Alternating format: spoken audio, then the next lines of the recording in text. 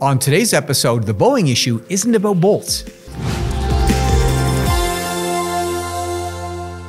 Today's episode is brought to you by Engineering.com, a globally trusted source for engineering content. Check out this and many other exclusive videos for the engineering professional found only on Engineering.com TV today.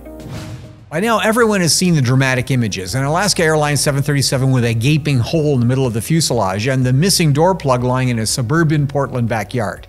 Now, any cabin depressurization in an airliner is dramatic, and this one fortunately ended well with no injuries.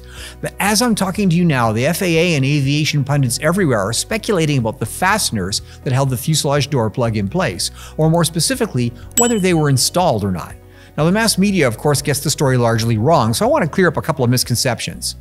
First of all, the lightest and most efficient way to close any pressure vessels with an inward opening plug seal. This means that the primary clamping force is provided by the pressure differential between the inside and outside of the vessel, in this case, an airplane fuselage. Now, plug type doors and hatches are used everywhere from the chemical process industry to spacecraft. Now, there are lots of ways to describe this technology, but for our purposes, there are sort of three basic variants. The first is the plug that's designed to remain in place for the life expectancy of the pressure vessel. There's usually openings that are provided to aid in assembly or fabrication of the unit, but they're not expected to ever be used again.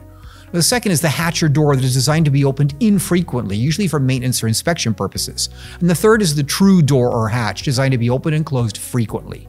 Now, engineers design each type differently, but the fuselage plug on the Boeing 737 is an interesting case.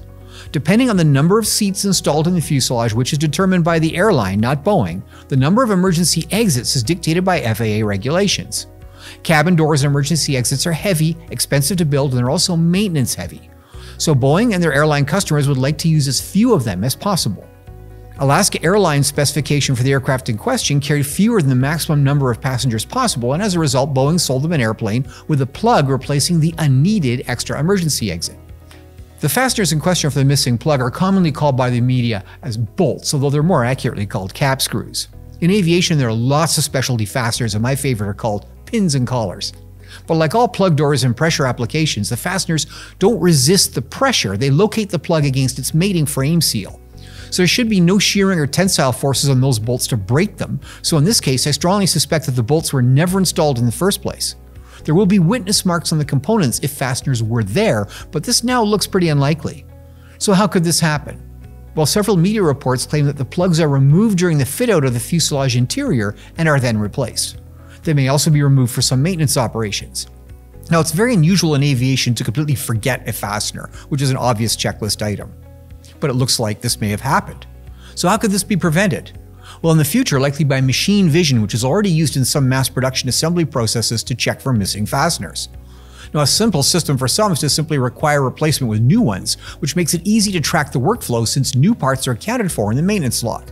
There are other techniques too, such as captive fasteners or the use of torque wrenches that have a recording function. Now, I like this approach because it would be possible to know how many screws or nuts were torqued in a given repair operation. There are lots of ways to check this kind of thing, but mistakes do happen but we can't blame the fasteners or the technician forgets to put them in. Well, that's it for today's episode of End of the Line, brought to you by Engineering.com. For our deeper engineering series, visit Engineering.com TV for exclusive shows like Manufacturing the Future, Designing the Future, and the Engineering Roundtable, not found on our YouTube channel. The links are in the description below. Thanks for watching.